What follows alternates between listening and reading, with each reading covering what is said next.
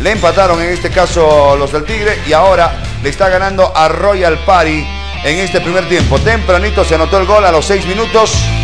Goles son amores y no buenas razones, dice la gran frase el caballo Saucedo. Eh, Rodrigo Ramallo te Ah, comentó. Ramallo, qué Sí, bien, sí, sí. me alegra, me alegra por Rodri. ¿ah? En 28 minutos de la primera parte, con gol de Rodrigo Ramallo, ya también está ganando la gente de San José 1 a 0. ¿Qué te parece? Muy bien, todavía hay mucha tela por cortar. Sabemos que el equipo de Royal Party también tiene cosas interesantes, así que hay que esperar.